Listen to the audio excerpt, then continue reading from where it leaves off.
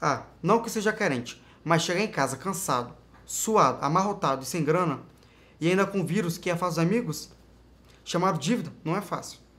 Aí você pensa que quando chegar em casa vai encontrar com a mulher linda e cheia de amor pra dar? Hum. Você que pensa. Mas você já imaginou aquela história de amor? Louco. Você fica irado sete dias por semana. A semana inteira, todo dia, toda hora. Começando pela segunda-feira. Aí eu entro em casa, pela porta da sala.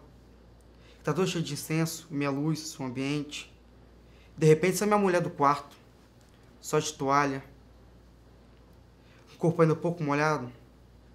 Me abraça. Desliza sua mão sobre o meu corpo. Vem baixo sussurro no meu ouvido. Já comprou o leite das crianças?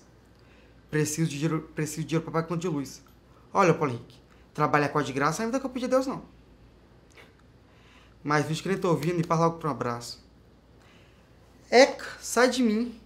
Está todo suado, cheiro de churrasquinho de gato com gasolina de ônibus velho. Uh. Calma aí, Clemilda. Ela odeia que eu chamo ela de Clemilda, porque é o nome verdadeiro dela.